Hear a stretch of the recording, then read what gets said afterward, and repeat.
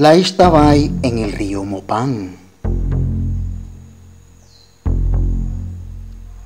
El siguiente relato fue documentado en 2012. Bajo el calor de la exuberante selva petenera por el buen Begli Casasola. El informante llamado Emiliano es originario del municipio de Melchor de Mencos ubicado en el departamento de Petén. Edición y producción de video por Carlos Espigares Luarca. Transcripción y adaptación por Víctor Flores.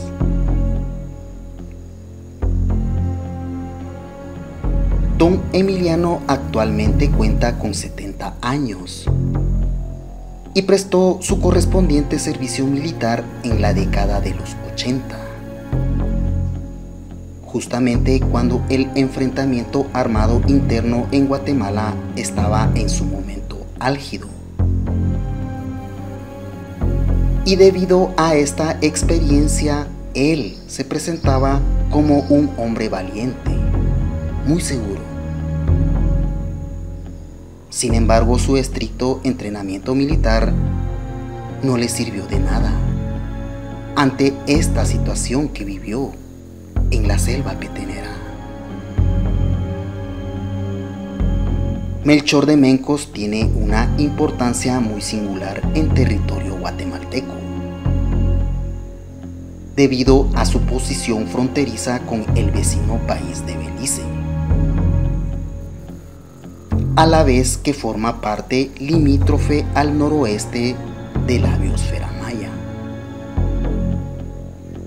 El río Mopán recorre este territorio adentrándose en Belice y desembocando en el Mar Caribe. Este río juega parte fundamental dentro del relato Don Emiliano es un hombre de estatura baja, pero de complexión física robusta y gusta de ir a pescar, una actividad muy común en los habitantes de Melchor.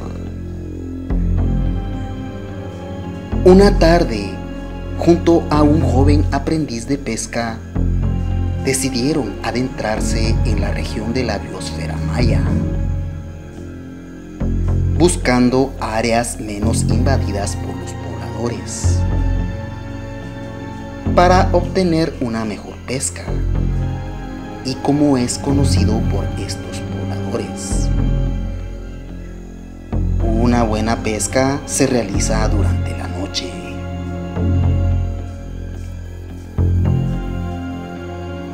Caminaron alrededor de cuatro horas dentro de la selva hasta escoger el lugar ideal para realizar su pesca.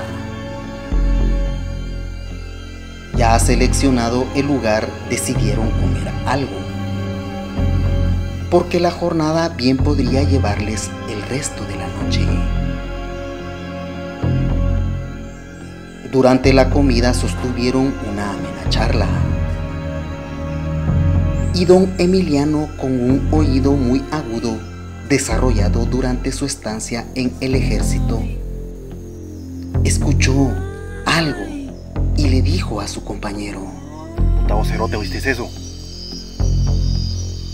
Simón, ¿qué es esa mierda vos? Es una mujer. ¿Qué, qué es esa mierda, decís? Puta, la Istabay, la mujer que vive en la selva cerote. Ah, mi huevo, Emiliano. A mí esas mierdas se me ahuevan. Mejor vámonos a la mierda, nos va a ganar. hombre, pues como cerote, espérate. Yo la quiero ver de cerca. Vos no seas culero, vos Emiliano, a mí sí me ahuevan esas mierdas. Mejor jalemos, hombre. Vámonos a la verga. Ay, Dios. ¿Y vos crees que esa mierda me va a huevar a mí? La voy a planasear. Si viene, acá está mi machete. Te venís conmigo, te quedás. Yo la voy a ir a buscar. Emiliano Macero, te dio la coques. Te voy a seguir, pero yo si ando bien ahuevado, man. El joven iba pálido y con ganas de vomitar, según manifestaba. Y don Emiliano cuenta que dieron cuatro pasos y escuchó una voz muy sensual atrás de una ceiba vieja, diciéndole lo siguiente. Me buscabas, Emiliano. Don Emiliano jura que de la ceiba va saliendo una mujerona, hermosa, alta con unos generosos pechos que lo dejó idiota, unas caderas que parecía potranca según sus mismas palabras. No le voy a mentir, mano. Me ahuevé de las pocas veces que he sentido el verdadero miedo. Mientras la mujer se reía picaramente.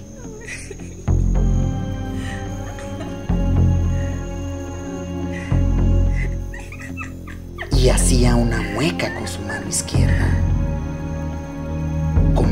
se vení para acá. Vení a ver lo que tengo para vos. Se me paró el pelo. Los pies no me respondían. El corazón me latía a mil. No coordinaba mis pensamientos. Mientras la sensual mujer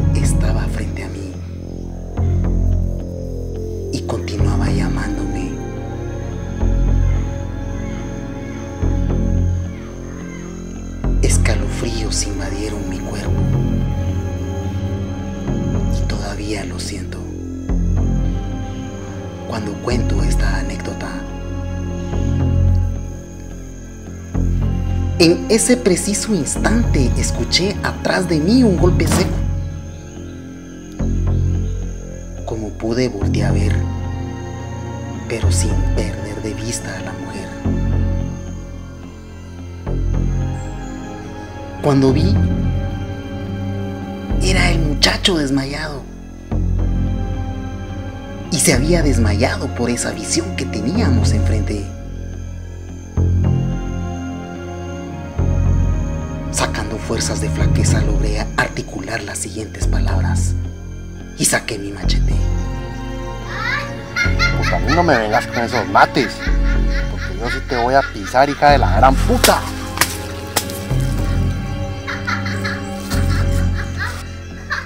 Fue la risa más espantosa que he escuchado.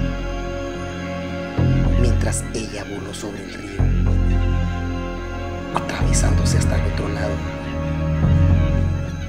y se internó nuevamente en la selva. Como pude revivir al muchacho, iba hirviendo en fiebre, mientras yo sufría unos calambres espantosos. Lo regresé casi cargado. A ver a la curandera del pueblo y ella lo atendió. Aquel nunca más volvió a ir a pescar y unos años después emigró a la capital. Esta experiencia quedó en mi vida muy marcada. Y doy testimonio que la infeliz Ishtabay existe. No la busquen. Ella es de otro mundo y detecta el temor en los hombres. Así se los lleva. A mí me habían contado de ella, pero no creía nada. Hasta que lo viví en carne propia. Nos seguimos escuchando. Gracias por visitar Guate Terror.